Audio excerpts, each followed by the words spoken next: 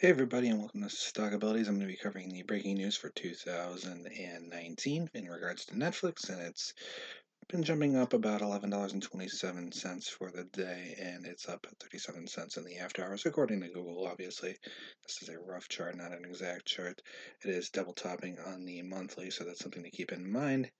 Jumping into it here, that the reason it's up is from Netflix and it's claiming unsubscriber data according to Motley Fool. And uh, you know, it had a nice boost in recent months and years, and a lot of people are thinking, oh, it's going to be bad or it's going to be not so hot.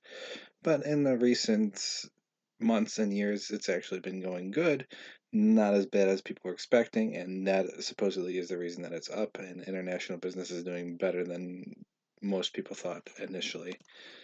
And it also something to consider that there's a bump up on news that it increased the number of original pro TV programs through Netflix by 55% to 371 this year, and they're projecting over 400 original TV programs and movies in 2020. So there's a lot of new content coming in on Netflix. So there's a lot of demand for the subscribers to be excited about. So that's something to consider into 2020 and beyond. Thanks for listening in. Make sure to subscribe to the channel and like this video if you want, and comment below about your own input on Netflix and any breaking news you feel is relevant to mention. Thanks. See ya.